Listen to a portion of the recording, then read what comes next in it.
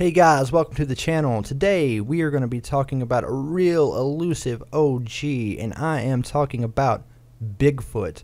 So I was looking on the internet trying to find some cool stuff, and holy f did I find a good one.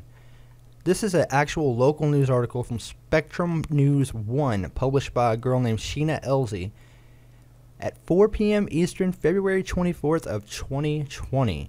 So it turns out, if you're a Bigfoot investigator, researcher, historian, or if you're just looking for the guy because he owes you money, you may not have to search any further than Ohio. Okay, the article here says Bigfoot sightings reported in Ohio. Investigator says he has proof. And the article goes on to say here Warren County, Ohio. It's a creature of myth, legend, written about in scary stories, something that comes lurking around in the woods but to people who showed up for a presentation at the Franklin Library, it's very real.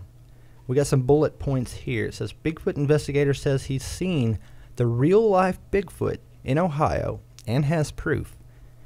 He played what he says are Bigfoot audio recordings at the Franklin Library.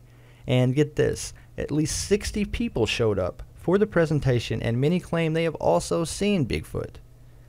One by one, guests at the library took the microphone to say they have seen what looked like Bigfoot, and we got some quotes here.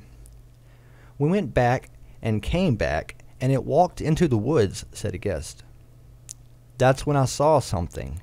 Walking on the tracks, said a guest. I looked over and I seen a big black mass, and I thought it was a bear, said a guest. But Marc DeWerth says he knows Bigfoot is here, in Ohio. Looks like DeWerth talking here. I went to an old strip mine looking for badger's dens because apparently that's something people do in Ohio. Uh, and on the way out, I got followed out, and lo and behold, on the other side of the strip mine, there it was, and it stood up and looked at me, said DeWerth, Bigfoot investigator. And he says he has proof they exist. So what proof are we looking at here? In a packed room at the library, he played what he says are sounds from a real Bigfoot and then showed everyone a mold of a footprint he says came from Bigfoot. If I can find those audio recordings, I'm going to play those here. but um, these are definitely from Ohio, he continues. These are legitimate Sasquatch tracks. The article goes on here and it says this is just some of the evidence he's collected over the last 30 years. He's been investigating Bigfoot sightings. So he's been doing this for 30 years. This is a thing that's been going on for a long time. This in, this uh, organization's probably been around for probably longer than 30 years. These are definitely from Ohio. These are legitimate Sasquatch tracks. They've been examined by different scientists, said DeWerth. Now, I didn't do any cross-referencing or to figure out where they'd been sent to or examined, but this has happened quite a few times. People get these Bigfoot tracks, they take molds of them, and they send them they send them off. Okay, so DeWerth is a volunteer investigator with something called the BFRO, or the Bigfoot Field Research Organization. He says he's investigated more than 300 reports and sightings from Ohio alone. So, guys, Ohio is a giant hotspot for Bigfoot sightings. I have never knew. He says a lot of them were hoaxes, a lot of them were misidentifications, but at least a third were definitely telling the truth, said DeWerth. Now, I mean, I've heard people tell Bigfoot stories, and some you could tell are just complete bullshit, but some of them, yeah, they are believable. And uh, as far as misidentifications, that's crazy. How do you misidentify a giant ape like man thing in the woods?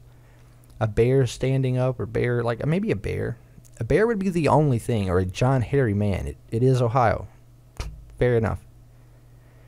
Okay, that's part of the reason he takes his message across the state, telling everyone how to tell the difference and where to spot a real Bigfoot. We got another quote here. They're following waterways, your creek beds. That's the least path of resistance. The least path of resistance. So I guess it's like easier to run through the creek beds and those are the areas to look if you have heavy deer population and deer. It's a little redundant there, said, but uh, if you have heavy deer population and deer, said DeWerth. I always tell people, go Cleveland, Columbus, Cincinnati, go east. You have a chance.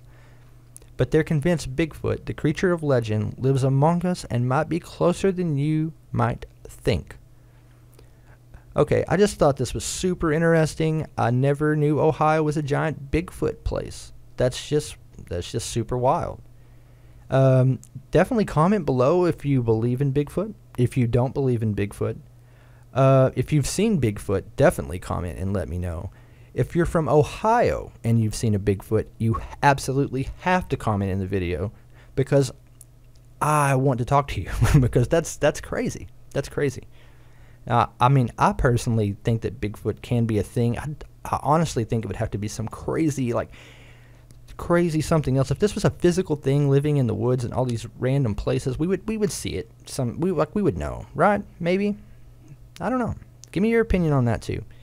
Anyway, thanks for watching the video, guys. Uh, I really appreciate it. Um, if you got any more crazy articles and stuff to send me, I love reading this shit, man. Give it to me. Anyway, until next time.